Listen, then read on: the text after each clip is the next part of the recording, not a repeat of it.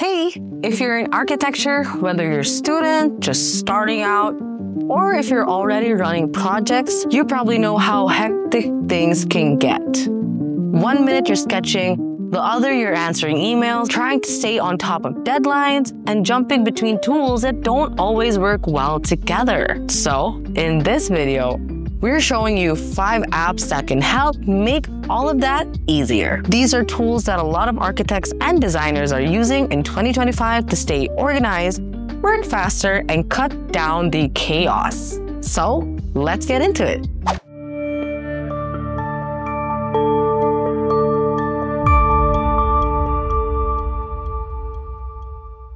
First up, Morpholio Trace. This app is great if you like to sketch but want something more flexible than pen and paper. You can draw right over floor plans, photos, or even maps on your iPad. It's basically digital trace paper, but smarter. And if you need to send something to a teammate, you can export it fast. If you use an Apple Pencil, this one just feels super natural.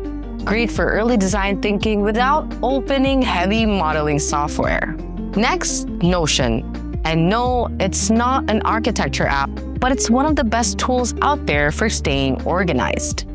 You can build a page for each project, list your tasks, drop in reference links, notes, PDFs, Heck, you can even name it too. Everything stays in one place, which is super helpful when you're juggling multiple projects for deadlines. It's also great for teams, you can assign tasks, leave comments, and stay updated without getting lost in long email chains or chat threads. If your current project system feels a little mm, scattered, Notion is definitely worth the try. So, let's say you're not in front of your computer, but you've got a design idea you want to try. Shapr3D is perfect for that. It's a 3D modeling app built for iPads and it's super intuitive. You can quickly mass out shapes, explore volumes, and sketch in 3D using your stylus. It's not a full replacement for Rhino or Revit, but it's great for early ideas, especially when you're not at your desk. Plus, you can keep working on your models later on your usual software. And yes, it works offline, so you can model from pretty much everywhere. Okay, so this one might seem obvious, but it's still one of the best and most useful tools out there. Pinterest.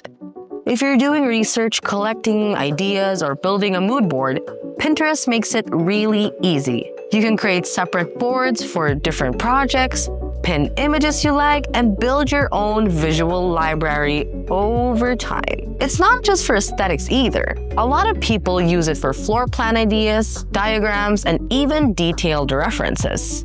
If you're trying to explain a vibe or a look to someone, Pinterest can help get the point across fast. It's simple, but it works. Last on the list is Concept Board.